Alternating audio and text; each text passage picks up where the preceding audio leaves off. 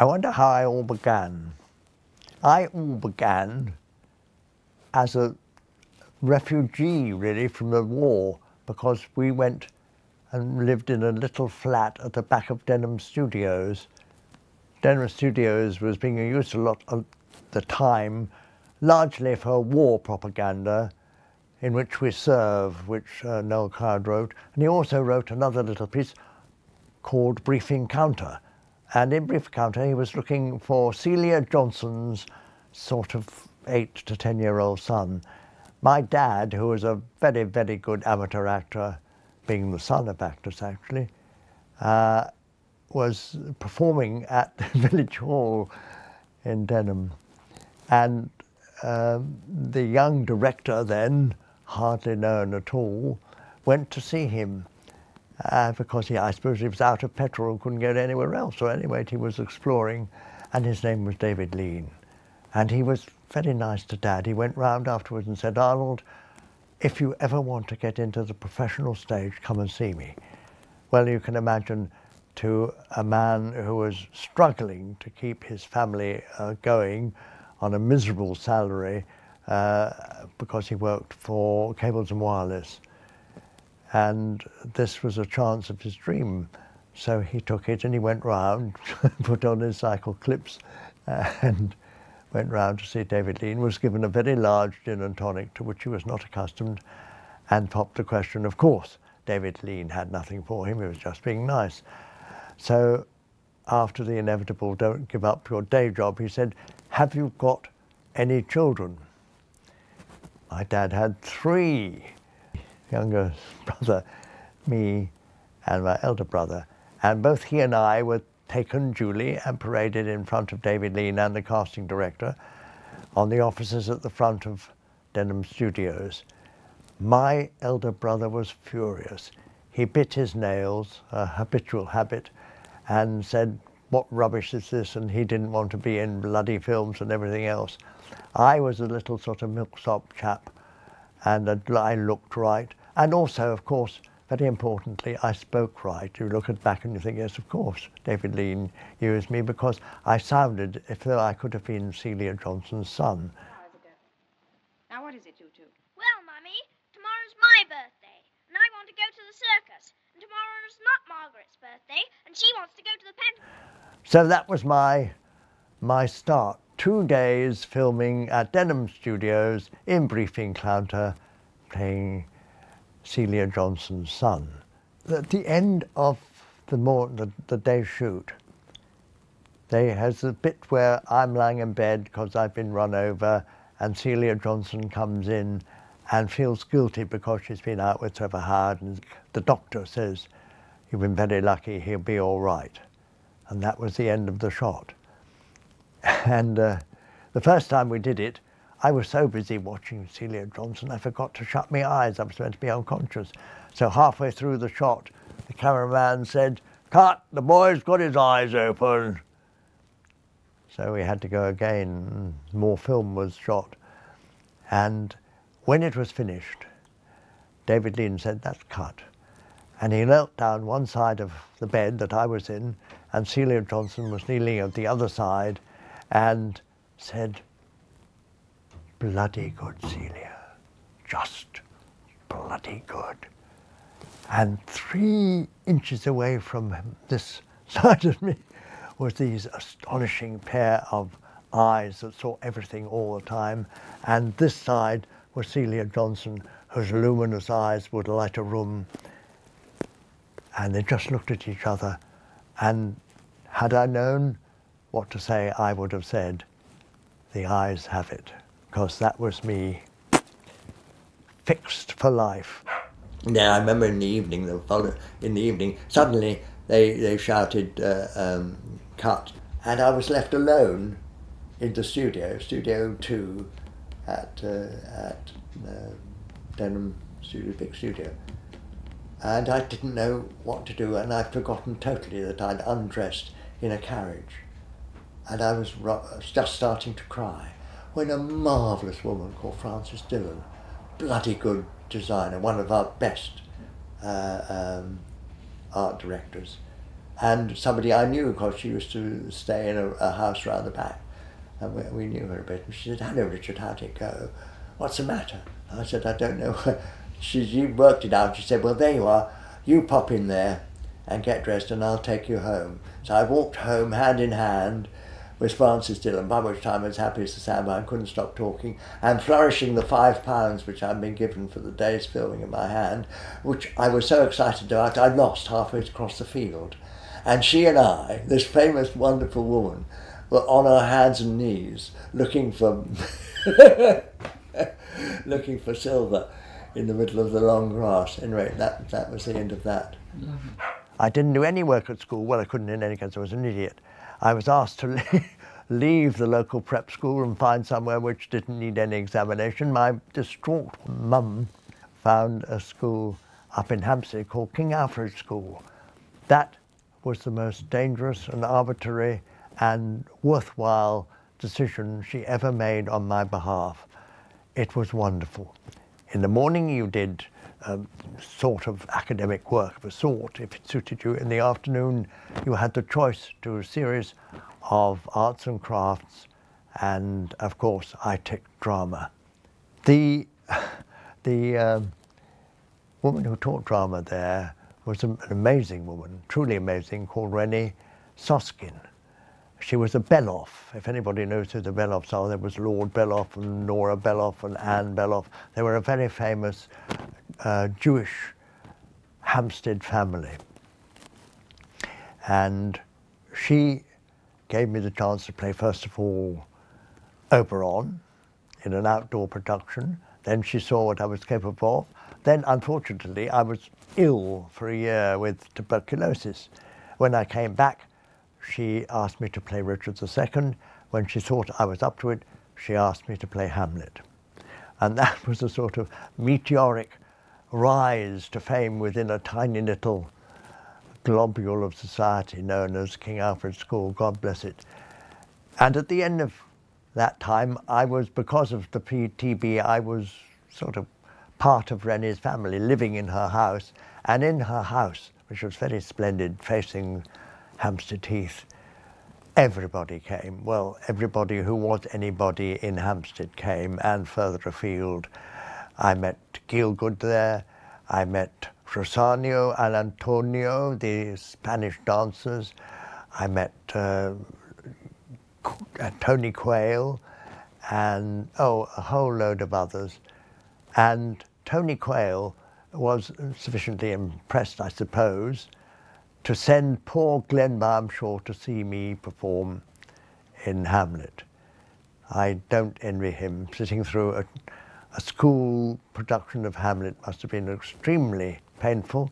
At the end of it, he came round, nodded briefly over the top of his bow tie, and later agreed with Tony Quayle that I was to go down to Stratford, and that was the beginning of my career proper. I arrived, I remember at Stratford, the first person I met on the train, uh, she took me down there by train, and uh, was a man called Cyril Keegan Kagan Smith. He was the head of the uh, wardrobe, all of whom were uh, bent in some way, and uh, Cyril uh, then became the sort of first person that I met and the first person he met in that new year, which was not a very good year. This was 1952, and it was um, it, it, was old Ralph Richardson and Margaret Leighton and Laurence Harvey and Tony Britton. No, Tony Tony was the next year. Um, they were they were the principal. Oh, and Siobhan McKenna, lovely Siobhan, lovely Irish Siobhan. Um, and um, Ralph Richardson was giving his Prospero, which was amazing, in which I, which I played a, a hedgehog, a sea hedgehog, and had to dip down and actually uh, disappear in front of his feet as he walked forward. Very dangerous thing that actually. They wouldn't have been allowed to now, but that I did at the age of 17. And the other great performance he gave was uh, Macbeth, uh, which, for which he was not entirely cast. He was a bit old. Macbeth is quite a young killer man, and he was having a lot of trouble, but at any he got there. And being rather cocky and sure of myself, at the opening night I went up to him when he was standing in the wings and I said, Good luck, Sir Ralph. And before that, Gielgud, who hated my red hair and had it cut really, really short and dyed black, and it was standing straight up on my he- uh, head, and Ralph crossed my hand and looked at me and said, I have been looking at your hair with amazement. It looks like a Scotch hedgehog. So thereafter, if I ever write my memoirs, I will call them the memoirs of a Scotch hedgehog. The other story, but the other wonderful moment I had, I, have, I was standing in the wings watching. I watched a lot. I learned all I, I ever would have will learn, I suppose, by standing in the wings watching. And Ralph had come to the bit. Is this a dagger that I see before me? It's handled towards me, my hand. I have it got, and yet I see it still, and on its gout and dudgeon gout, no, on its dudgeon gouts of blood that was not there before. And he said, Johnny, I'm having difficulty here. What do you think? Do I really see this dagger? Do I really see it? How did you do it, Johnny? And uh, said, well, how, what, how did I do it? It was fairly well known even by then in those days that uh, Gielgud had not shone particularly as Macbeth. It was very bad casting. Anyway, he came up, clambered up on stage over the orchestra rail and uh, did his full. This is a dagger that I see before me? It's handled towards my hand. I have it not, and yet I see it still. And in its. Oh, said Ralphie, I don't think I can do it like that, Ronnie. oh, do it how you bloody like, Ralph, said Gielgud in a terrible huff and clambered back into the stall. Uh, it was a wonderful moment of just to see them as friends and see the fact that they were in such a different style. It was amazed that year after year they appeared brilliantly in plays together and to see their friendship. I knew Gielgud, or thought I did, by his first name. Also, the uh, school I went to called their masters always by their first name or even nickname. The headmaster was Mr. Montgomery, and we all called him Monty, and that was the, so I called everybody by their first name. This did not endear me to anybody, not he, but except Gielgud didn't mind. But he called me out of just to amuse himself, I think, or because he tended to get things muddled. He always called me uh, Martin Richards instead of Richard Martin. And he stopped me about the third rehearsal. The, the scene, a very short scene, um, Banquo comes out of a, a very late night, uh, sitting at, at, the castle, and uh, he, his son has been waiting, waiting, waiting, waiting in an ante, antechamber for him, and he comes out, and uh, I think the the full length of the of, of the dialogue is uh, what time is what time is is it and uh, Fleance's answer, the moon is down, I have not heard the clock.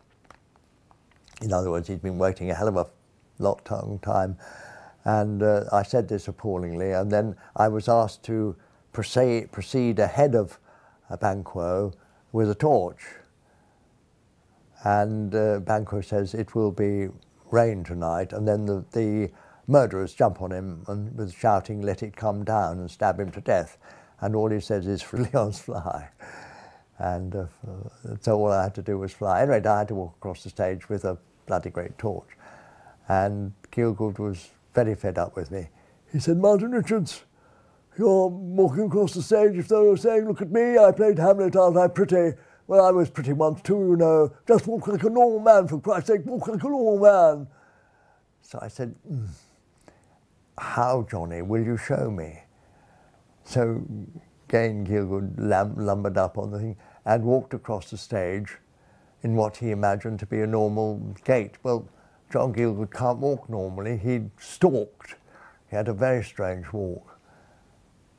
But he did, in fact, keep his eyes straight ahead of him. I'm sure he did it better than I did.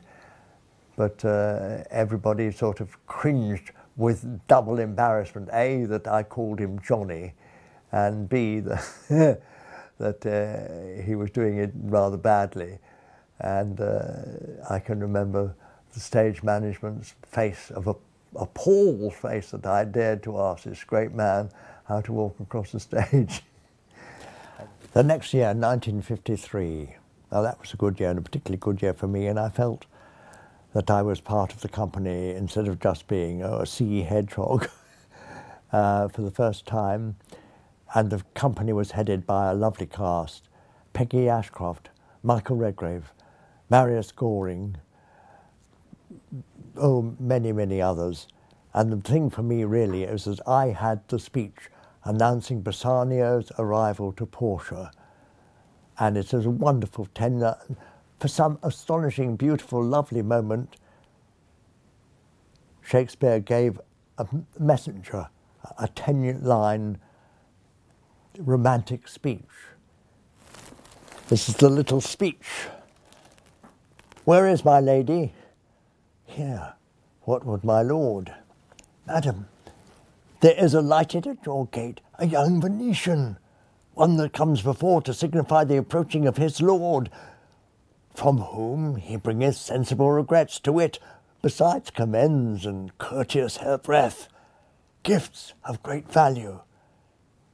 Yet I have not seen so likely an ambassador of love a day in April never came so sweet to show how costly summer was at hand, as this forswearer comes before his lord.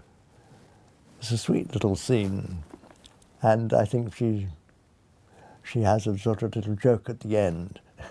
any rate, that was enough to bind her to me for the season. She called me his messenger fell, of course, desperately in love with Tony Britton.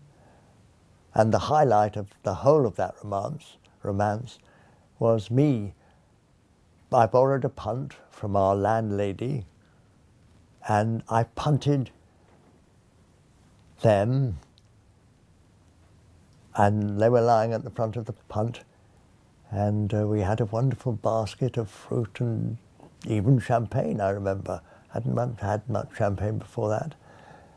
And I lay in the back when I wasn't punting uh, with the best designer probably of the whole of that epoch, the famous Percy Harris.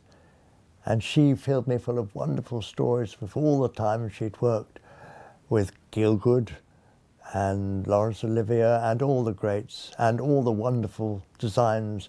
Look her up, Motley. She was Motley with her sister. And uh, her designs are all time great. And she was a very nice person. Anyway, at the end of that season, despite my moment of glory, uh, Glen Byam Shaw, who was the director of productions and left all alone to cope with the Stratford season because Tony Quayle had taken another company to Australia. And he made it his duty to interview every one of us and tell us whether we were in the season for the following year or not. He absolutely hated it, I discovered a long time later, but he made himself do it. And the only way he could do it for me was to be really, really nasty. I suppose you could just say honest. And he said, Oh, come in, Richard. Said, I'll take my glasses off because he used to he used to pull at his eyebrows. Come in, Richard. Sit down, Richard. Uh, as far as I'm concerned, you're an experiment that hasn't worked. It's an awful pause while I took that in. Ah, so I said, I suppose I said, so no, not, not next season. So he said, no, absolutely not. So I said, could you give me any advice? what should I do? He said, learn your trade in rep and looked down at my his blotter. So I got up and left. And that was the end of my Stratford experience. And thereafter, it was oh, it was a hopscotch hops, you know, a sort of muddle of thing. I did a, a terrible tour of a absolutely unspeakably bad play called The Praying Mantis, in which Joan Collins was the lead, and I played an extremely camp opposite to her. I remember we sitted, sat on the throne together at the end. It was awful. It was quite fun doing it though. Then I walked on uh, for Gielgud in a lovely production he'd made at the Lyric Hammersmith of uh, The Cherry Orchard with Gwen Ffrangcon-Davies and Trevor Howard. Trevor was scared silly of Gielgud. It they were sort of chalk and cheese. Gielgud was scared of him. He never said anything to him. And Trevor said to me, oh, I, wish you, I wish you'd say something to me, even if it's fuck off. they never talked, but they were both very good. It was a lovely production, and I learned a lot just by looking at that. And then I went, out of some desperation, uh, to, uh, to uh, an agent called John Penrose, who sent me up to Derby Rep. Derby Rep was weekly rep, and I arrived now here is a little, a little uh, sort of window of how Derby was in the 50s. I left my trunk at the station. It's a large Victorian sombre building. It was pouring with rain. I asked one or two people where the theatre was. What? Theatre? Or, or don't. Theatre? Theatre? I don't know. So I walked out into the rain. I was up a cobble street which had pipes coming down from the gutter, gushing water straight onto the cobbles. cobbles. And there was, it was lined by an unbroken line of cheap down workers' cottages, in between which every three or four there was what I learned, later learned was a ginnel, in other words, a passageway. As I approached one of these passageways, a green man erupted from it, coughing really badly, and stood in the pouring rain, and the water from the gutter and from the sky poured on him, and enormous streak of green sped down the road and disappeared gurgling into a drain. I will never forget that as the most somber and astonishing image of what I was now to endure. Though I liked many things about Derby and many things about Derby people, and the rep did me a lot of good. I learned what I later described to be as a very good, very bad actor. You learnt your lines fast, you learnt what you could off anybody else, and you did the job and you got on with it. Probably the most useful person for me because he was a superb timer of dialogue, was a man called Charlie Workman. Charles Workman. He was, at that time, he was the character man at Derby Rep. And he was the son of a famous man called Charles Workman, who was Gilbert and Sullivan, Gilbert's favourite comic actor. And he had a lot of the memorabilia that his father had given him. He'd spent the whole war years getting very drunk in Cairo and working for Cairo Radio um, and by extension by the BBC uh, overseas programme. And then he'd been rescued uh, by Jerry Glaister, a funny little director, and brought back to England. And he'd, in the meantime, he'd married his rather aged landlady. So the two of them, rather sad, but Charlie had a great sense of humour and was then on the on totally on on the wagon. Didn't didn't drink at all, and taught me a, probably a hell of a lot more than I even realised.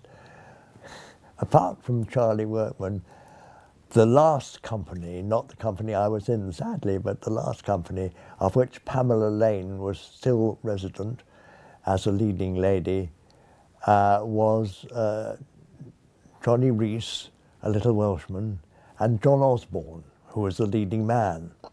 And the three of them, Johnny Rhys, John Osborne, and Pamela Lane, lived in this flat very near Derby Cathedral, where the bells rung out. Now, if you know your uh, look back in anger, you will realize that that is a version of the story of the three of them together and of Osborne's anger at being penned up in this place. And rather sadly, when I joined the company, uh, Pam and he had broken up, and Johnny Rees was still with us. Lovely, lovely uh, little Welsh actor. Uh, but there was a sort of residual feeling of sadness there. So at the end of the season, although I was sorry to say goodbye to them, uh, that was it. My younger brother had just acquired an Austin Heavy 12 taxi, an old London taxi, and he came up, bless him, and we've stuck my trunk on top of it, and he and my dad and uh, me, we trundled down south away from the grotty uh, Midlands and, and, the, the, and all the poverty that was still there, still obviously there in the streets in Derby. I enjoyed Derby very much, though I did have some of the worst digs ever, ever, ever. And uh, one, on one occasion, there I was, uh, we were sort of cornered by some a family called the Garbets. I had uh, a, a, a, bed on the first floor and was served my meals on the ground floor. My girlfriend of the time had a flat on the top, and they spied on us and eventually summoned my girlfriend's father to separate this terrible uh, sexual uh, morass that was going on in their house. So it was a very difficult few moments in our house, in that house, and I couldn't wait to get away. After that, I was out of work for a bit again, I think, and then I saw another um, agent. And no, before that, I had met the director of productions of Nottingham Playhouse. He'd come down to London to, and seen in spotlight offices to see as many actors as he could. And he and I sort of, no, clicked is a wrong word for John Harrison. He is a distant and intellectual man with frighteningly um, grey eyes that sort of bore into you. Any rate, I didn't think I was getting anywhere with him, and I didn't think we were really uh, going to work together. So I was bundled off to a summer season at Cleethorpes. Cleethorpes, if you don't know it, has about four miles of sand when the tide goes out. The theatre there is on the front. Across from the road was the Guinness clock, now, for you all too young to remember what the Guinness clock looked like, it was built for the uh, Festival of Britain and it advertised obviously Guinness because uh, pelicans and things came out of it every quarter of an hour and it made noises for almost five minutes when it was chiming. So you were doing a, show, especially on the matinee, you would notice it somehow, uh, at Cleethorpes Rep, and uh, you just got to the bit where you had to say, Yes, my lad, I plead not, plead not guilty. And this bloody clock, clock would go clang, boom, dong, uh, for about 10 minutes. you couldn't pause for long enough. You had to wind your way through. So I would have thought that Cleethorpes was my particular nadir, my particular low point. Eventually I was rescued, thank goodness from the joys of Cleethorpes Rep by a telegram from John Harrison asking me to go to Nottingham to play Florizel uh, in Winter's Tale opposite Joan Plowright. And of course, he actually, the bloke was very decent. He had to let me go at very short notice, which he did. I took the train and there I was in Nottingham. Now, Nottingham at the time was a three weekly rep. It was very much better than weekly or, or fortnightly rep. It was three weekly, and the standard was extremely high, and that was due entirely to John. He had very, very high taste, very good discernment, and he was a very good, if slightly frightening director.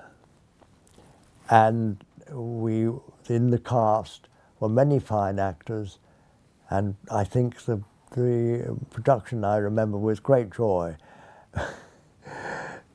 Joan, I remember I said to her on the first, third or fourth day of rehearsal, I said, Are you happy to be playing Perdita? And she said, No. I said, Really? Well, what, what would you rather have been playing? She said, I'd much rather have been playing Dorcas. so I was playing opposite someone who really didn't want to be a pretty pretty, which she was. She was absolutely gorgeous, but wanted to play character. And I think that's probably where she excelled later in life. Um, at Christmas, we did John Harrison's version of Alice in Wonderland, uh, which Graham Crowden said it was about as funny as a tomb. I played the White Rabbit, and Alice was played by Daphne Slater, who was John's wife. Beautiful, beautiful, and gifted actress. She worked very little because I think it was quite hard work being John's wife, and they had a young child, any rate. But when she did, it was enchanting, and it was fun to be with her. Actually, she got me the job. John didn't think I could be the White Rabbit. He didn't see me as the White Rabbit. He was very sorry I wouldn't be the White Rabbit. Daphne Slater came up to me, we were rehearsing another play, and said, Do your John Gielgud imitation. And I said, John, to John Harrison, I've got an idea. I've got for a voice. So I did this sort of terrible imitation of, of uh, John Gielgud, you know, I'm late, I'm late, I'm terribly late. And John, at the end of this, sucked his pencil for a bit and said, You are the White Rabbit. So it got me in. Later, John and I became very good friends.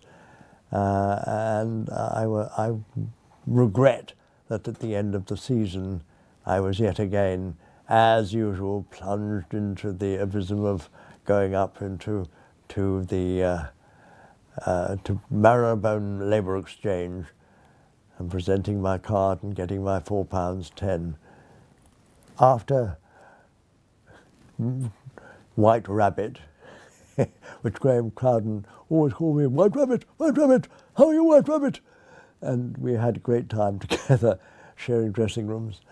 And then I was threatened with being out of work for about three weeks while there was a gap, something I wasn't going to be in.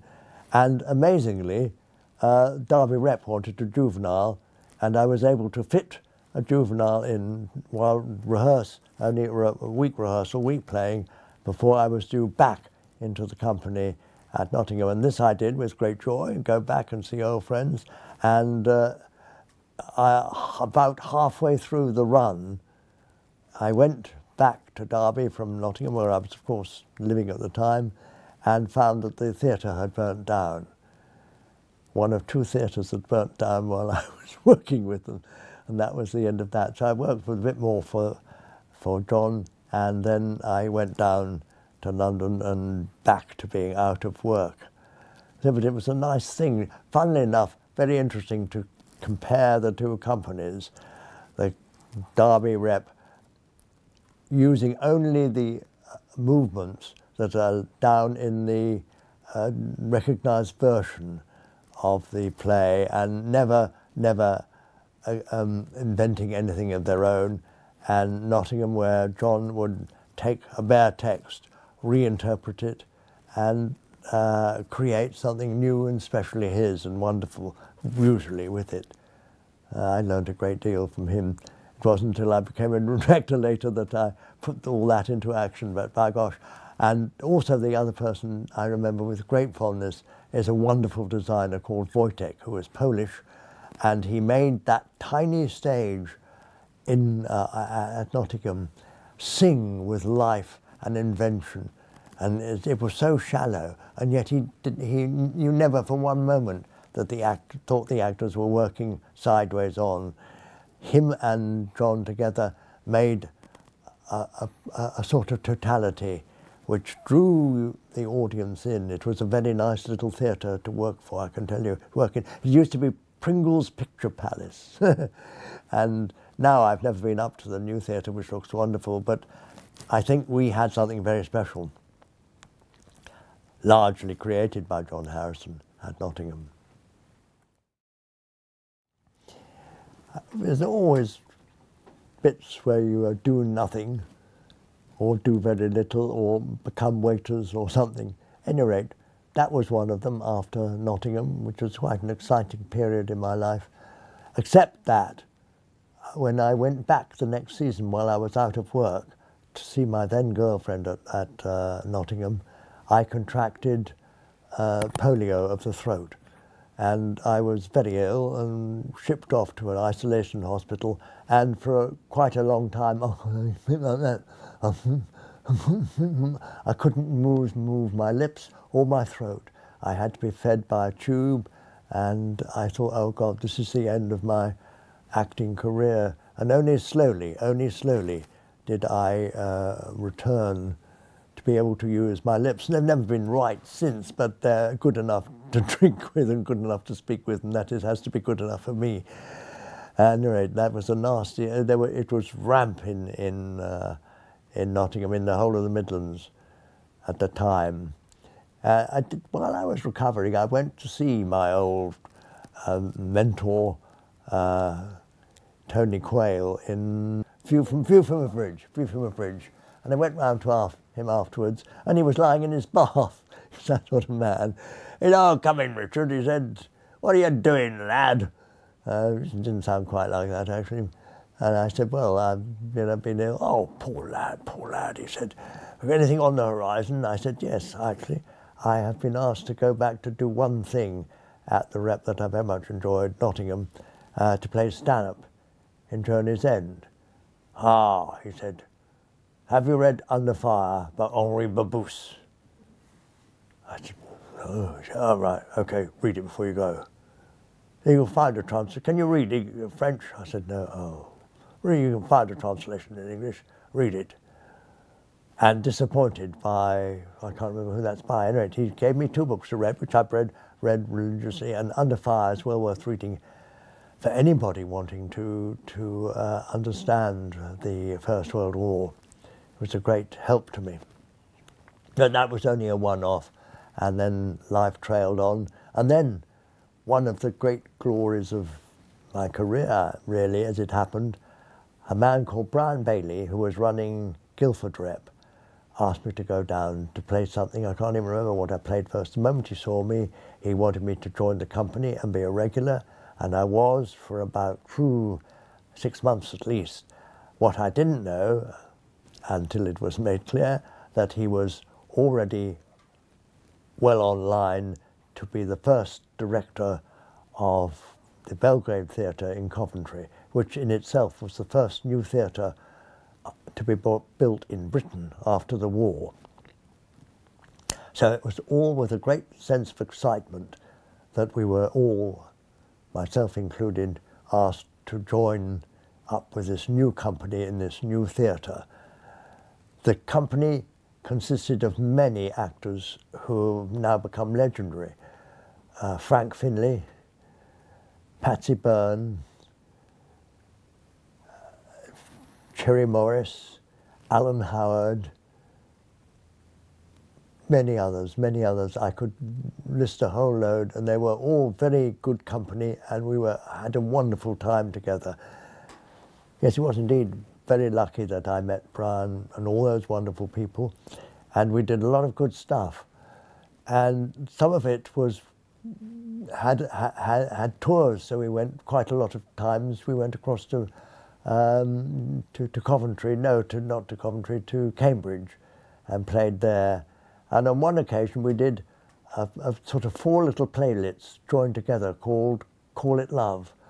It didn't go anywhere. They liked it for well enough at, at uh, Coventry, but uh, it, it died the death after we finished with it. And we went on, suddenly there appeared on the, on the scene young writer called Arnold Wesker, wonderful, gifted Jewish young man, and with him a director called John Dexter. John Dexter was famous as being probably one of the most vituperative, most dangerous, and probably the most gifted uh, director of his time. And fortunately, praise God for my quiet of mind, I'd known him before because he'd come and acted with us when, when there was a derby. So I was a friend, and he needed a friend at then because he'd just come out of prison, having been uh, accused of a sort of uh, attempted, at any rate, uh, interfering with young men. So he was absolutely at the bottom of his pocket uh, and at the bottom of his uh, courage. But he still came down and he'd latched on to Arnold, who'd written this play called Chicken Soup and Barley. And Dexter made it his. It was his direction, his sense of purpose and a feeling for the play and bullying anybody who stood in his way that made it an instant success. And on the back of that, Arnold wrote two other plays. One was Roots, which just happened to have Joan Plowright in it, which was the best thing she ever did, and it was brilliant playing Beatie. And finally, I'm talking about Jerusalem. Now, I played Dave in the first. They were all plays linked together. They were all about his family. He wrote about what he knew. Arnold never wrote fanciful things. He wrote, always wrote what he knew, what he trusted, and what he could express. Uh, we lived all together in a house in King Richard Street of which there are many tales that I could tell. But the result was that we were all bonded together, and it was not at all surprising to me that uh, Alan Howard was asked to play my part, Dave, which is all about him in I'm talking about Jerusalem. Alan joined our company quite late, and you only had to stand with him for five minutes to know that he was going to make it. He was an important actor he had a, a, a command uh, and a grace and a certain amount of danger in him that was undeniable. Forced with that, I have to say, and he became a friend. I liked him very much. I was have to admit that I couldn't, I couldn't uh, equal him in in in charisma, at least and uh, I was right. So when all three of, es- of plays went to the Royal Court, I was kind of in a limbo, and I was. I remember I was doing something to my old Austin 12. I was underneath it. I think I was actually taking the pistons out in between the matinee and evening performance, and suddenly this face appeared looking down through the bonnet, past the engine at me, and it was Brian Bailey. He said, Good Lord, Dickie, what are you doing? I said, I think I've just got time to change my this piston before the evening performance. He said, Can you do that? I said, Yes, I can do quite a lot of things that aren't acting, and I enjoy doing them. he said, Well, what are we going to do with you when you go up when this tiny part in uh, roots, you don't really want to do that, do you? I said, no, I don't. One line part, it's boring to hell. And then I said something that I hadn't rehearsed at all. Just came out. I said, you wouldn't let me direct, would you, Brian?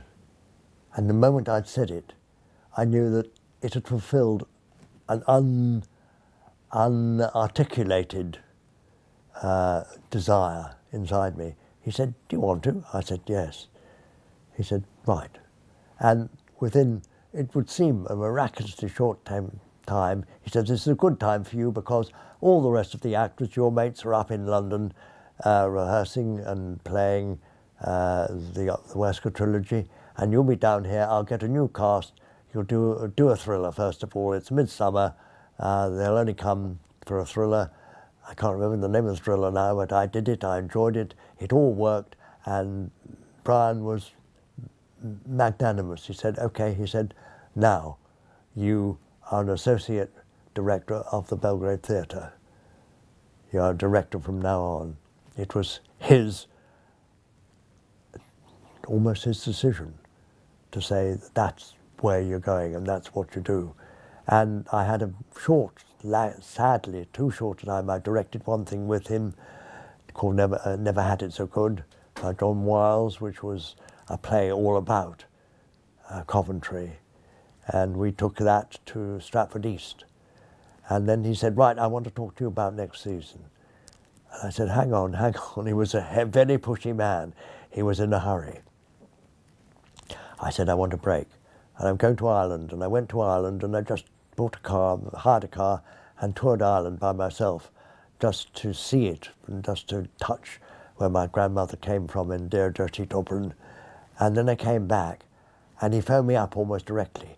And he said, Dickie, uh, I want to see you at the last, it's the last night of uh, um, Never Had It So Good at Stratford East.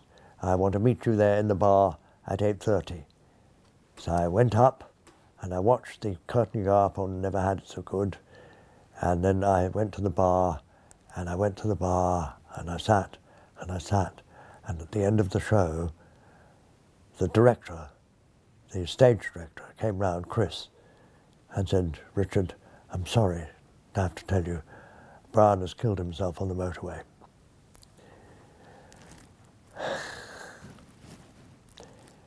Well,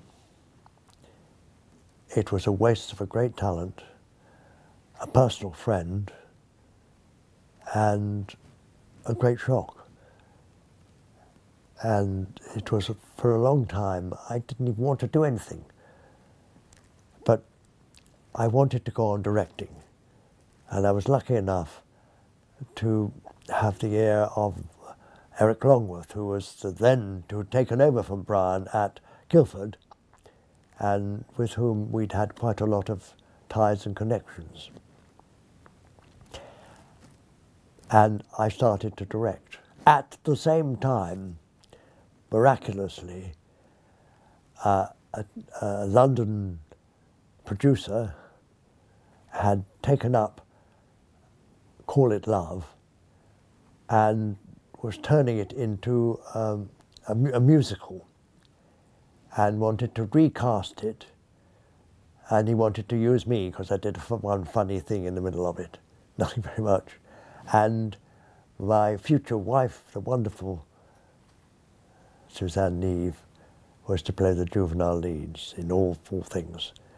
And we start, rehearsed that. We played it first of all, I can't remember where, but maybe we at Coventry, we took it back to Coventry, I can't remember.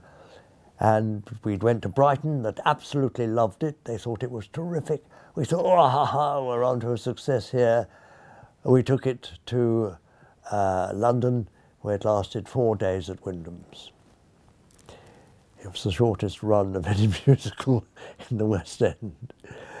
Fortunately, please God, I at least was at that time starting to direct at Guildford, where I became a resident director, and Susie and I had fallen desperately in love and had a wonderful magic few summers. Me, impecunious, her father disapproving politely and sweetly, and both of us very, very happy. While I was uh, directing in rep, I was I wanted to make films badly. I'd seen some of those sort of films you never forget. So Seventh Seal was the film that really said to me loud and clear, this is what I want to do. Brilliant, brilliant film. And uh, so I kept writing to the BBC with no result at all. The BBC was Oxbridge or bugger off. And then the then uh, head of drama uh, died, I think, and a lovely man, his assistant, took his place for a short time. And he'd been an actor, so he was interested in my application. And I actually got an interview with the BBC. and this was my bit of luck. I happened to be directing uh, Henry V at Guildford uh, with Corin Redgrave. So I, as I came into the room, I said, I'm awfully sorry. Uh, you're running a bit late and I, I've got a cast waiting for me at Guildford. And they said, what are you doing? I said, I'm doing Henry VIII with, uh, with uh, Corin. And so that sort of notched me up they asked me what my camera was because I said I was a, a keen photographer, and I said, well, I can't afford a, a reflex camera, but that's what I really want. But I'm, I work with a, a Kodak Retinette 2B, which is not the top of the range, let's face it. Uh, but the, I, I was made by that luck. So I got into BBC. As a trainee director, unfortunately, the training was appalling. Uh, but the fact that I was there and was mixing with people who knew was enough. I was spat out and I was quite haughty with them. I said, I'm not going to do um, uh, soap operas. I hate, I hate soap operas. I, I really didn't want to do them.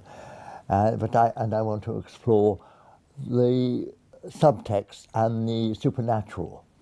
Um, I, I not not do sort of police series things like that, and that this was all the wrong things. Uh, I, uh, I said to them, and I also did a a program which I wrote myself as a sort of passing out piece, which wasn't very good, I have to say. any rate, I was given a play to do, and then astonishingly, they didn't know what to do with me, and there was a very well-known director called Philip Saville, uh, who'd come over from ITV and was being asked to do a production of Hamlet at in Helsingør Castle. And they decided he needed some help uh, and that I was, a, they didn't know what to do with me, so they said, go and be uh, Saville's assistant. Philip Saville is unhelpable. He didn't care a hell or know much about Hamlet, but he knew the hell a lot about shooting old castles. there ensued a series of astonishing uh, rehearsal periods in England, which were quite arid. Uh, the four actors were left totally on their own, while Philip jumped about with an eyepiece, looking at the best possible shots he could get of them. and uh, at one time, our Hamlet said Philip was halfway up the wall bars of a, a, a, school we were rehearsing in, looking for a nice low shot down on Hamlet. and poor Christopher Plummer was trying to get at the roots of Hamlet, and he stopped rehearsing and said, Philip, Philip, will you come off those fucking boards? Will you come down and give me a hand, please? Now! Philip shrugged and came down. He was quite unstoppable. The two of them hated each other, quite rightly, I think, because uh, poor old uh, Chris was not given any help. He was a bit old for Hamlet, but he's a bloody good actor, let's face it, and he deserved better at the hands of a director. We all trogged out to Elsinore. All the actors were given double pay, and the whole thing was going to be recorded in four days by um, uh, Swedish television. Danish television, Danish television. So all the best cameras, the best camera line, the best lighting and everything had been moved out to Elsinore and the, uh, uh, the um, Danish television was almost at a stop. It was just ticking over while we occupied its best people for four days. The shooting went on for 15 days. It became a, a national incident. We nearly closed down the station. Philip and the cameraman, uh, he was so arrogant, and they said, one man said to him, we like Philip very much. Uh, we'd like to do what he wants to us to do, but he doesn't tell us. If he doesn't tell us, I will knock his block off. and thus it went. By the end of 15 days, hardly any sleep. We stayed in a beautiful hotel down the road called the Marienlyst hotel who looked after us brilliantly. But there was a lot of incidents. I'll tell you one incident which sort of illustrates. We'd been filming for a long time. We were very tired. Chris was exhausted.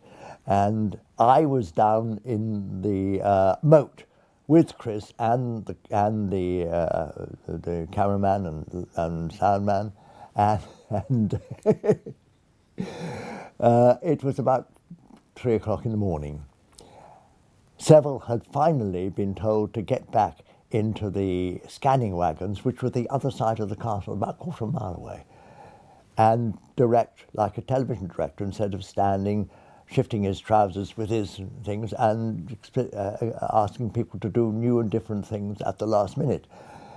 Uh, anyway, we came to the bit where the ghost speaks to Hamlet after he's departed and makes him swear to do, to do what he says, revenge his foul and most unnatural murder. and I was there to give um, give Chris just the go ahead quietly because he didn't like the big um, speakers that we had down there coming from the, uh, the, the scanning wagons. So we came to it. Chris was already, he'd hyped himself up, and I got him on my earphones, I got, give him the go ahead, action, and so I quietly gave him the little, okay, go ahead. And as he said, swear upon this sword, the, the sound man fell asleep and he was holding a fishpole microphone and he just fell very slowly in front of shot.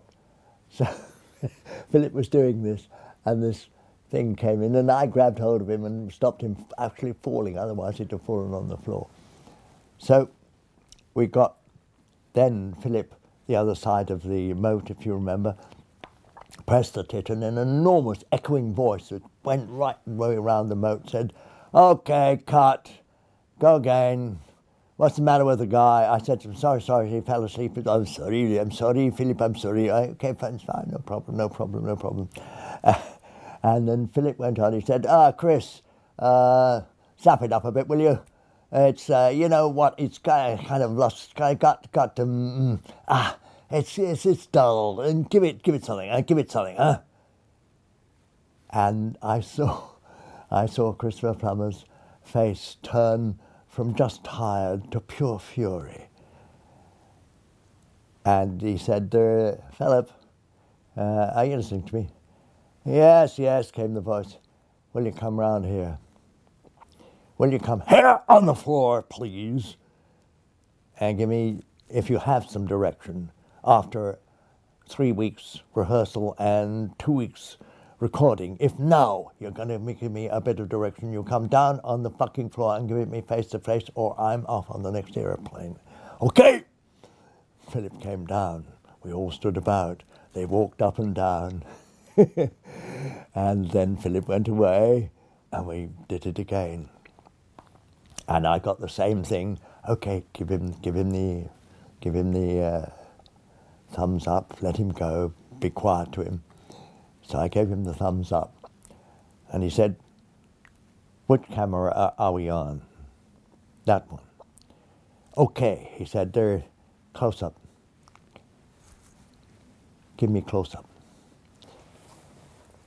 I absolutely hate, detest, and despise these two bit fucking television directors. Give them a camera for two minutes and they uh, think they are God Almighty. They are nothing. They know nothing, and they are worse than the dog shit on my shoe. They want eradicating swear upon this sword. It was a wonderful, wonderful bit, and uh, Chris wanted that to go on record, and I have it on record that when they got the tapes back to England, Philip had that bit of tape cut and he jumped on it in the basement to make sure nobody could ever, ever see it again. It was a wonderful moment. I have to say that Chris was justified and Saville was, you know, absolutely uh, what he described. The only thing is, I will say in, in, in, in uh, defense, is that he was a, a great innovator of new camera positions for old cameras. He got those cameras, probably they, they were ruined, half of them. He got them dropped on the floor, he got them hauled up onto balconies, and they were not little things. We're talking of, of this sort of thing that big, which weighs a lot. And if you tilt it a little bit more than that way or that way, it, it, you, you kill the, um, uh, the, the back, which records it. And it's on, into a £30,000 refit. So Philip as well as stopping um, Danish television and causing a, a, great incident, and the actors making a fortune out of it because after the four days, which they were already paid for, yeah, contracts were torn up and they made and they went on to film co- contracts. Many people said Philip Saville would never work again. Actually, he did, and he made one of the best things I have ever seen on television, Of course, it was brilliantly written. And he did it very well, except the end where he went over the top. And that was The Boys from the Black Stuff. And I think he will be remembered uh, quite rightly as doing that brilliantly. Anyway, that was my initiation into. I'm nobody's assistant in any case. I wasn't going to help him. He didn't. He didn't care about the text, and the text to me is important. I had, after all, played it at the age of 17. Anybody who plays Hamlet thinks they own it. Uh, but I knew the text, and I could have and would have helped uh, Chris Plummer, but this was not my job. So I just stood by and watched this shambles go on. However, I have to say that it was sold to American television, and because of Christopher Plummer being already a film star, it was sold very well. There were various other fairly, fairly dubious things going on at the same time. the man, the woman who was playing uh, the Queen, June Tobin, was voluptuous and brilliantly cast. Philip was a good casting person, and uh, she was ready for every, everything and anything at the time. And one cameraman fell desperately in love with her, and we shared. Sue came out with me and stayed with me while we were there, and we shared uh, room bedrooms next door to June Tobin, and we heard the most awful things going on next door. One moment where we heard this cameraman saying, June, June, I am ready for you, June. So you can imagine we didn't get any sleep that night, and probably neither did she. She subsequently settled down and married Peter Luke, who was the producer, and I don't, I don't think she acted from then on. I, don't, I never saw her again. She was good in that.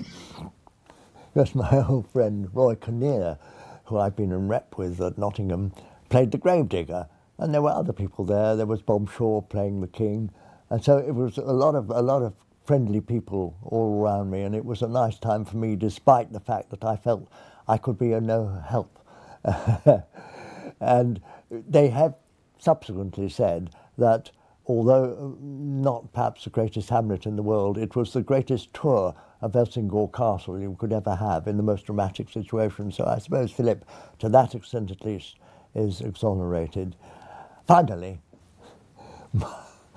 Michael Caine's Horatio was the most absurd bit of casting. And Mike was absolutely delighted because he used to say, I used to go knock on the door of the old vicar and say, Can I hold a spear? and they said, No, you're from the East End of London, bugger off. and here I am with a lead part in Shakespeare and earning a bomb. So up to them. it was very funny, very funny. And he was very funny about Chris Plummer. Chris had done a lot of filming, was very expert. And Chris and uh, Mike said, It's a funny thing, you know. Every time Chris tells me, which he does quite a lot during the movie, how much he relies and loves me. He grabs hold of my shoulders and turns me downstage to camera. So all they see is my one ear. But I don't care. It's his movie. It's fine. I know that at the end, he dies and I have my moment. I can wait till then. and he did. And he did. And when he got up with flights of angels, sing thee to thy rest, he was crying. He was crying, really crying. And it was intensely moving. And at that moment, I forgave him all his lack of Shakespeare and said, My God, you're a bloody good actor. And so he was, and so he is, my goodness. Finally, I think the BBC found something for me to do because a new woman arrived and there weren't many women producers at the BBC. They didn't like them, and they certainly didn't like ITV, and they certainly didn't like people who hadn't come from Oxbridge. But she was brought in by Sydney Newman, a newly appointed head of drama, and she her name was Verity Lambert, and she was given the task of bringing an idea of, that had been muted and, and developed slowly before but never got anywhere of a, a science fiction series called Doctor Who. And she, for better or worse, was given me. and I was the first, with another director called Chris, uh, to do the uh, Daleks. And we did two, the Daleks together, we did three each. And then he went somewhere to do something else. He didn't want to do Daleks anymore. And I did, I did Doctor Who for over a year, about a year and a half. I did, I think, five series. Daleks Invade Earth, oh, I can't remember all of them, and they were appallingly written, but they were imaginative, and we had to do them on a shoestring. The Daleks were made here in Uxbridge for £350 each, and bits of already created uh, um, plastic were used, and of course, famously, a, a, sink uh, blocker was used as the, the, the, the, hand. It wasn't entirely, that was my suggestion, but I didn't say stick a, a, a lavatory um, blocker, deblocker on the end. I said, wouldn't it be a good idea if we had a magnet that would attract everything, not just metal, but anything, including, including uh, food. And that if the Dalek wanted to eat, it would just stick this thing at it, and the thing, be it a dog or a, a human being, would be sucked in. Uh, what we got was a lavatory brush, which was all that the BBC could afford. Nevertheless, it had gone into the Oxford Dictionary and it has lasted, and the program has lasted. I was exhausted by the end of it, and thank God I got out and did other things. One little anecdote which I remember I did some good filming for Doctor Who before we were confined to the studio which was a Lime Grove and quite useless for these sort of expansive and, and I wanted to be very exciting visual uh, sci-fi things. But we did some good filming. Uh, we started at midnight on uh, uh, Trafalgar Square. We had to bribe some hippies to disappear. Apart from that, Trafalgar Square was empty. And we were, as the dawn came up, we were able to shoot some Daleks weaving in amongst the lions there when we came running up the Mall. And we finally did a shot of one Dalek coming, I wanted it at speed, was never quite at speed, over Westminster Bridge at us with, uh, of course, the House of Commons in the background, and I wanted nothing else. I wanted an empty bridge. Uh, it was very difficult. There was uh, then less traffic than now, obviously, but there was still a one all-night bus. So we got I'd, I'd had the Daleks re, re um, wheeled, so they were a little faster. They were built on, on um, pedal tricycles. And I got this one Australian guy, the toughest of them. He only just fitted inside the Dalek, but I thought he was the right man to get some speed to come over the bridge towards us, towards camera. he was at the top. I got an agonized thing over the, over the uh, intercom from the other side, from the Westminster side, saying, I'm lying in front of the bus to stop it coming over from my, from my uh, uh, first assistant. Please go now. So we were all in a bit of a hurry. We cranked up the camera. I said go, and he didn't do it fast enough. So I shouted halfway through, go back and start again. I wasn't very polite.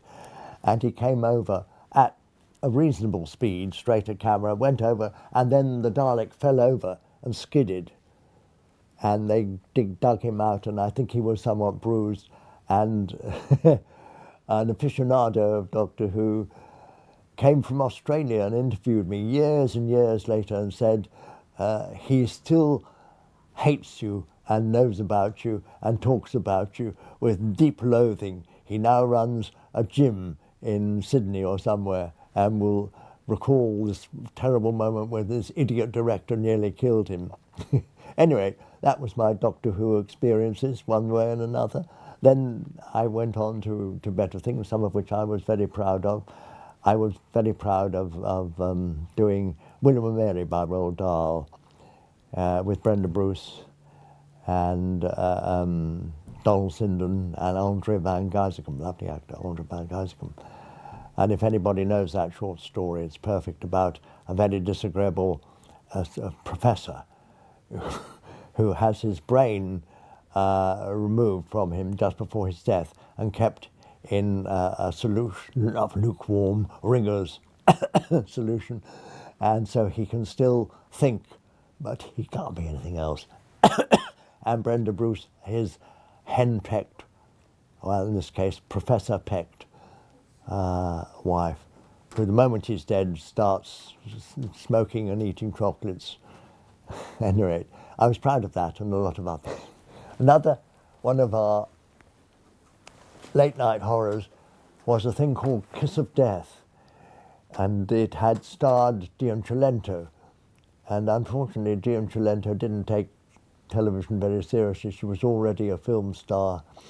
And also, she didn't know how the hell to put on a corset.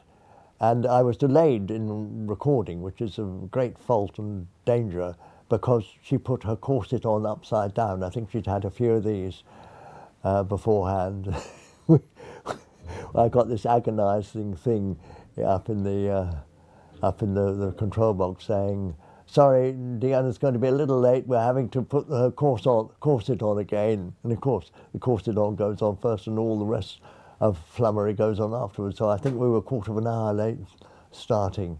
Uh, fortunately, it was a fairly simple piece and I completed just about on time. I was never well known for completing on time. Once I got recording, I believed that it would take as long as it takes and I was going to get what I want. This got me into a lot of trouble because recording time is very, very limited and very precious and very expensive. And if you go over line by two minutes, the entire crew of a studio, which is considerable, have an hour's overtime at double time. And if you go over that and are likely to go over the hour, they will, they, you know, they, they earn the same again. So I finally left the BBC. Then I went up to Granada, and it was very fortunate. I went up. My stock was quite high, and I was asked to do a special uh, uh, episode of Family at War, which was a very good series, which uh, been running for some time when I got there. And I was asked to do the torpedoing of the um, all those steamers that went out from England to get people out to Canada and the E-boats came and, uh, and knocked the hell out of them. So I had to do uh, a, a series of small boats, lifeboats, with dying people in them. And we went and filmed uh, off Llandudno Pier.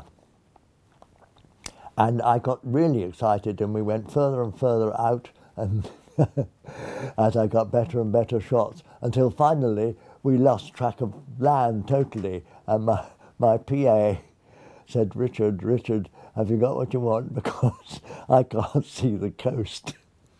and oh, wonderful, wonderful sound man, he couldn't take the sea at all.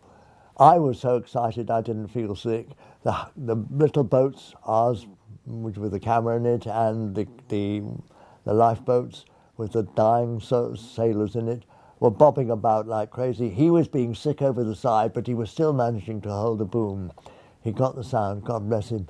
But the moment I said, all right, cut, let's find the land, I started to feel sick too because it was rough, but it was good. It was good filming, and that was good, and that, that took, put me in good stock for the, my long period at, the, at, at Granada. Afterwards, I did a series which was very good, Janet Munro and um, Andrew Keir in a, a, religious thing which was called uh, Adam Smith. And those were good because it was written by Trevor Griffiths. Trevor Griffiths, who doesn't believe in God, certainly doesn't believe in, in Christianity, was asked to do a, a religious series about uh, a, vicar working in a small parish with difficulty. And he said to them, he said, I will only write it if the following is observed as my truth, that Christianity equals socialism. And they said, oh yeah, fine, fine, fine, thank you, thank you, thank you. And while I was with him and while we did it, or while we were doing the first episodes, uh, that was absolutely okay by them. But then he wanted to go further uh, afield and wanted to end the first series. and the beginning of the second series, he wanted Adam Smith, this middle aged and highly charged and very lonely um, um, pastor, to go over to Glasgow, leave the comfort of uh, Edinburgh and, and around there, and fall in love with a socialist uh, worker and, and uh, um, academic in Glasgow University and have an affair with them. And we, we were told, no, he couldn't have an affair. He could, he could be fond of, but he couldn't have an affair. And we had an absurd conversation because uh, um, Trevor Griffiths refused to not write what he wanted to write. And we were all hauled up. The only time I've been on the board, up in the boardroom of Granada, the producer, uh, the uh, Trevor, and uh, the the uh, story woman, who was very bright, Susi Hush, and then um, the I think he was the I think he was the chairman of Granada at the time came in and uh, we had this conversation which went absolutely nowhere because in the middle of this, Trevor produced a large pouch and rolled the most astonishingly large spliff you've ever seen on the boardroom table and lit, it up. All of us were slowly getting, I think, a little high, and producer was a slightly fussy, silly woman. Said, it's getting very stuffy in here. Can we open a window? And Trevor just repeating the same things. You know, he said, you know, socialism is Christianity. Christianity is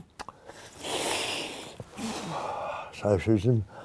Oh, it is nothing, fucking nothing. So we got nowhere.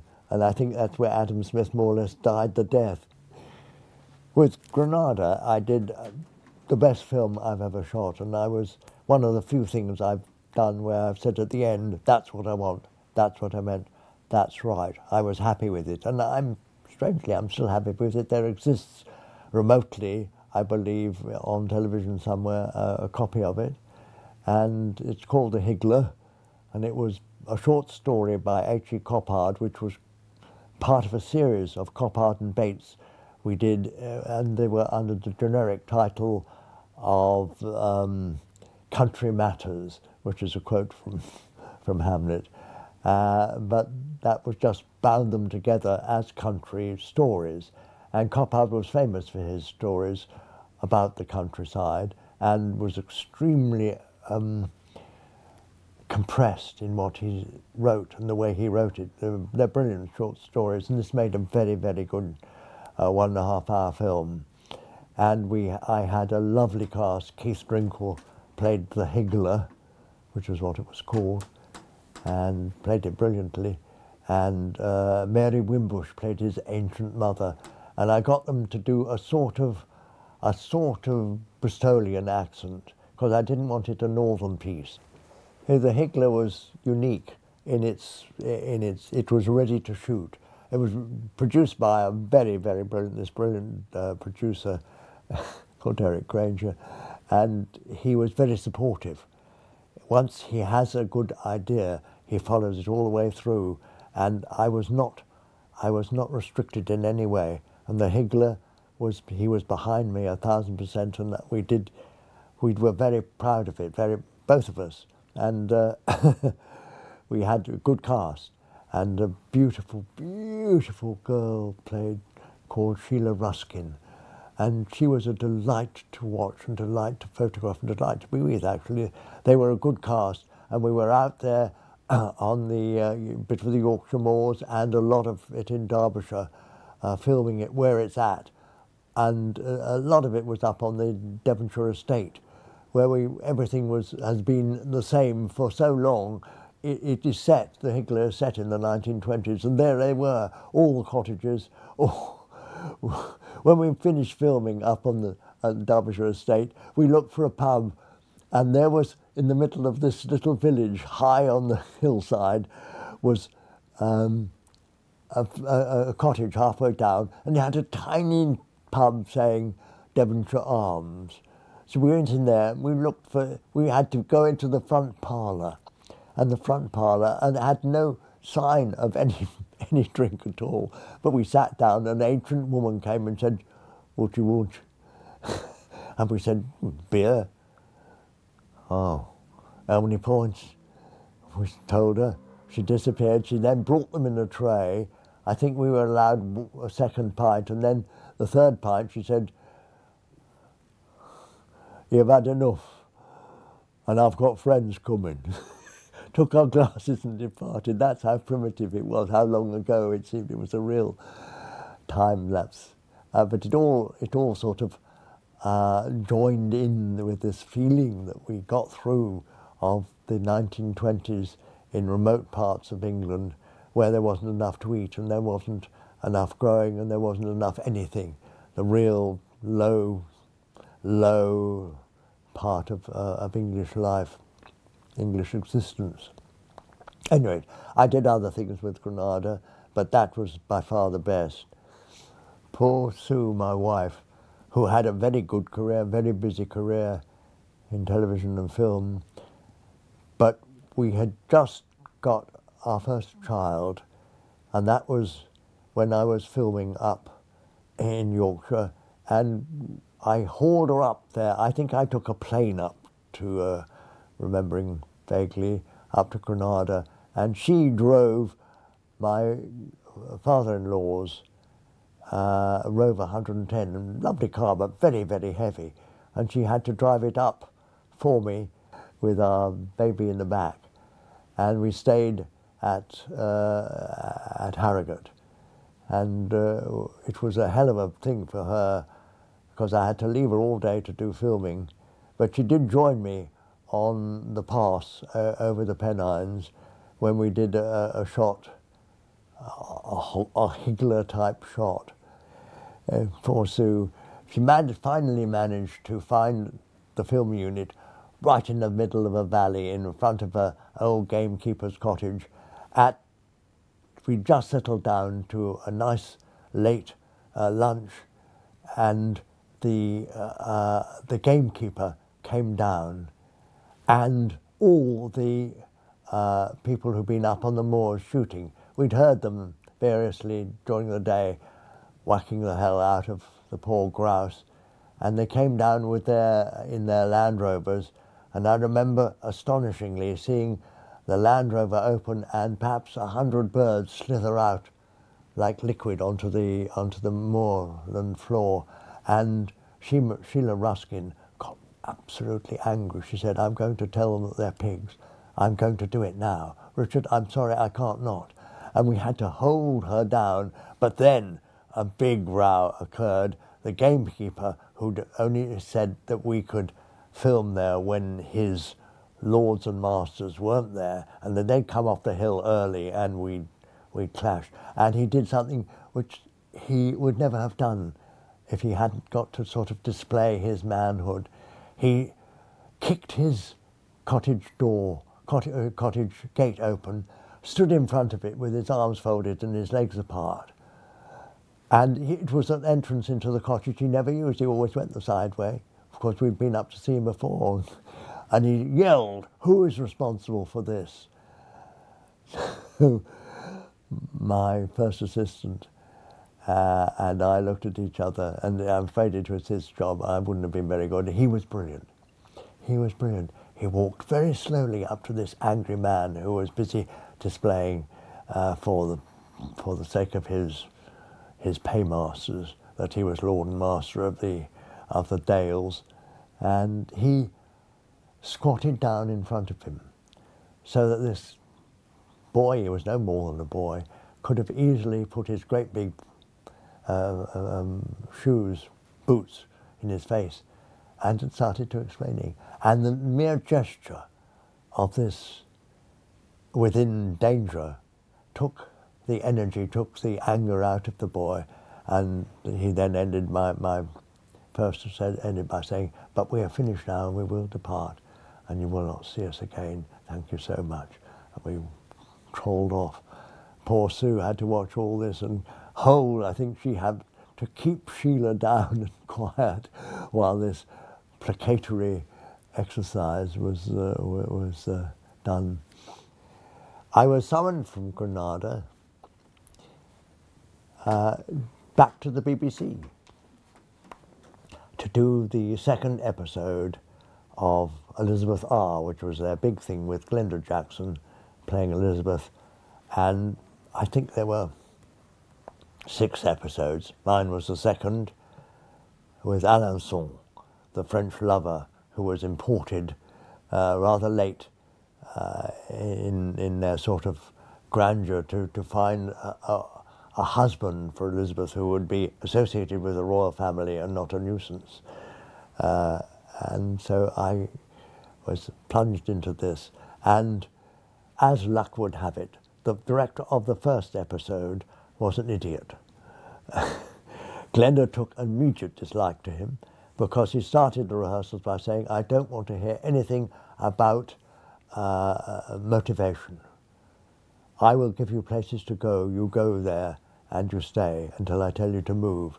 And she crossed his name out of the, out of the script. And a few days later, unbeknownst to me, I didn't know this, I went, I saw her in the canteen and I went up to her and said, I'm your second director. Uh, I'm looking forward to working with you enormously. Uh, it's very exciting for me. Is there anything you want me to tell me? And she gave me gave me a hard look and said, I don't think so. I think I'll just get this over one, this first one over first. And both she and uh, uh, and the rest of the cast, I knew some of the rest of the cast from Stratford quite well. Uh, we all got on very well. And Glenda went to the producer and said, Can this director do the rest of them? Which didn't please the producer at all. He was very jealous of me. not a nice man, it has to be said. And uh, he said no, because what he wanted to direct one of them himself. Anyway, there were other good directors uh, already lined up, but I had I had a little feather in my cap, and I could. Glenda knows what she wants to do. She's a very difficult person to change her ideas once she has them. But there was a moment when she progressed out all the courtiers were bowing, and she'd previously had a, a, big near love affair with the character played by Robert Hardy, by Tim Hardy. And I said, would it be an idea, Glenda, if you just paused for a microsecond and caught his eye and then moved on? It was punctuated. And it's an, uh, a thing from the last episode. And she looked at me for a second and she said, no. No, I wouldn't do that. Okay. you don't you don't you don't try to argue with her, you know. She had decided that Elizabeth is the sort of person who totally cuts off the things she doesn't want and goes for the things she wants, which is fair enough, absolutely her her decision and so right. But Tim Hardy loved it. And he came I suddenly got a grip on the arm and he said to me very, very low voice, he said, however, he said, if you look very carefully and very closely, you will see it in my left eye. and I did, I did. And it was well worthwhile, despite the fact that she walked straight past him. uh, Tim and I were great friends thereafter, of course, and when I eventually, right at the end of my career, I did uh, all creatures, great and small, we got on famously. And he was a very, very uh, fiery man. He could easily be a difficult man to work with, but I found him a honey bun and, and we enjoyed our time. And that was really the end of my television career, all creatures great and small. Television uh, suddenly lost its uh, money. It was being threatened by all sorts of things. It never no longer had, was, they used to call it, you know, sort of uh, the, the, the right to print money. And so the extra bits of money uh, that were, I usually had to spend to do what I wanted to do were not available. And I know, and I knew then that I was always known as an expensive director. So when they were looking uh, for directors, you want a cheap director who'll do it under under budget on time. You know, he'll give you what you he'll give you the story, he'll get it done, no bother. Or you can have so and so and so and so, and I was amongst the five or six of them who would say, who'll spend your money but give you something extra. And I knew I wasn't going to get a lot of work. So eventually I mm, thought, okay, let's do something else. I met a very bright man up at Granada who set me on a, course uh, and he, uh, he eventually became Tony Blair's publicity assistant. But he, for a short time, he was actually the head of BBC's, BBC television. Um, and he had, when he was up at Granada, he had a very bright idea. Uh, why don't we start two actors working on the same theme with, the, with two different directors, one working on them for, for uh, television, one for stage, and then see how they develop. Don't let them communicate, see how they develop, and out of that form a process which is enabled to be translated for actors so that they understand the difference when you are on stage and text bound and in front of a camera. And I thought I can use this. And so uh, uh, um, uh, Theatre School in north of London, which had used me as a, uh, as a theatre director quite a lot, asked me to start a television department at, in their college, which I did. And that was more or less, more or less the end of my, my career as a director. This is a 1938, so it must be one of the last batch that were made before the war, before Austin turned over to uh, uh, wartime production.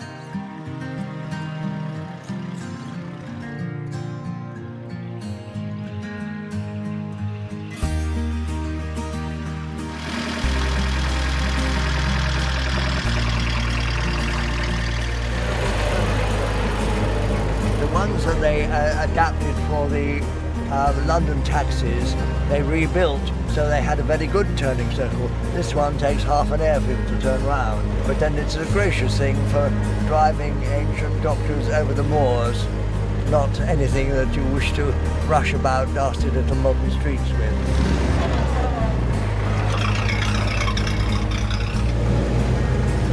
Just put my seatbelt on. you don't need them.